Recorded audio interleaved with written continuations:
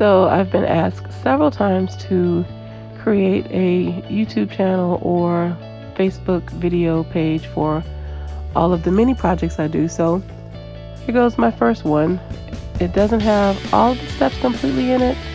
Like I forgot to take pictures of me painting, but these wonderful painted pillows are an easy way to add some flair to your living room, bedroom, and only at about $13 cost. So take a look. I thrifted my fabric from one of my favorite local thrift stores, Second Life, which you can read about them in the comments.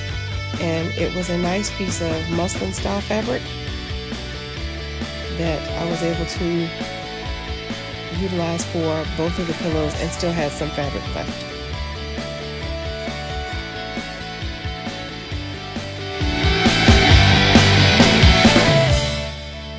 Although my mother attempted to teach me how to sew, I hated it. So, thank God for Stitch Witchery. I picked up this small roll at Joann's for, I think it was $5, plus of course you can use a 40% off coupon, making it about $2.50. And it's just a fusible iron-on bonding seal that you can use on fabrics to make them look like you are a master sewer.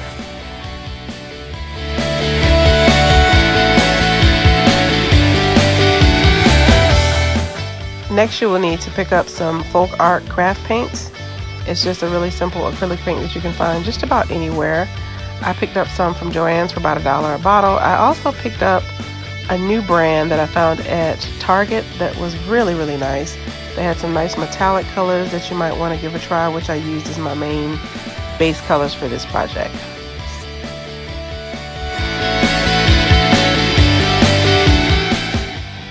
Will also need some painter's tape. I prefer the blue painter's tape myself. Masking tape, I'm not too sure about, but perhaps you could use it. There are tons of videos online already about doing this, so you can also check there for specifics on the painting aspect.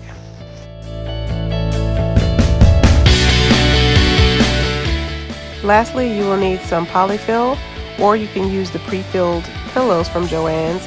I went with the polyfill simply because I like I said, I don't sew, so this way I didn't have to be too specifics about the cutting and measurement. And don't forget to use that 40% off coupon that's available every week at Joann's.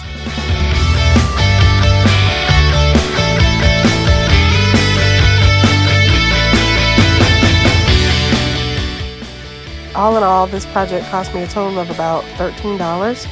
When I was all done, I was very pleased with the result and I do plan to do a few more pillows to complete the project and finish my bedroom makeover.